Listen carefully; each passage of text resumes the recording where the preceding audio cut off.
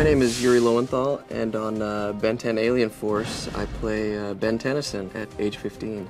Piece of cake. Ben 10 is just any average teenager. He's any average 15 year old. Um, the only difference is he has this watch who can kind of turn him into any alien in the universe. I am D. Baker. I am the voices of the aliens in Ben 10 Alien Force.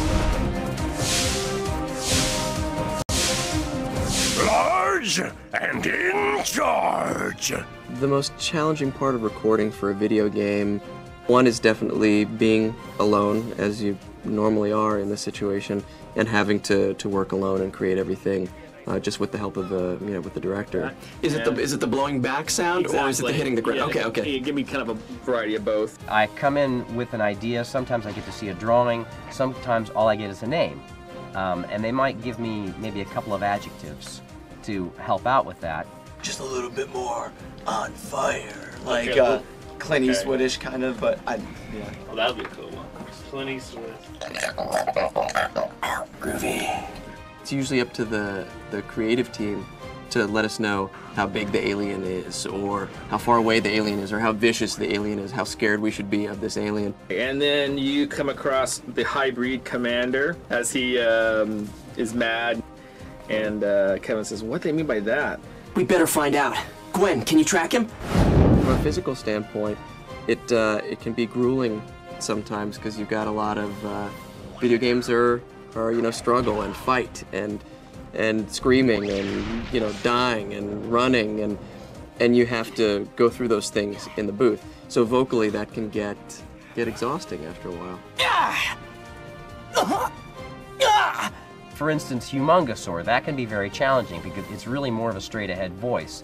And when he gets mad or is yelling a lot, it can be very taxing on my voice.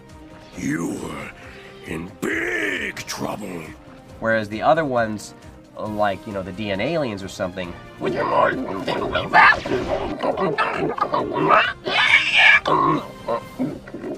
you know, that's that is not hard on my voice, and it's it's a lot easier, and, and it's more bizarre and more fun. So I, I like doing those better. What's neat about the game is we get to see the characters kind of differently than we see on the on the series. I mean, Jet Ray, just to see him moving around in 3D is, is just it's cool. It's just so different. Kind of on the show, we only get to see snippets of things. It's cool to see the characters moving around in space and moving around in these different environments and just that it's interactive. I mean, just watching the show is one thing, but being able to kind of control and manipulate the characters is completely different. The character am I looking forward to playing the most? Ben Tennyson as Ben because that's me. Some of my favorite Ben 10 alien characters are um, Jet Ray. He's sort of a manta ray who can fly really fast. The character I'm most looking forward to playing in the game is Spider Monkey. Spider monkey! It wouldn't hurt to put these things a little closer together, you know.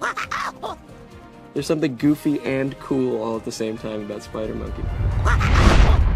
What do I think uh, people's reactions to the game will be?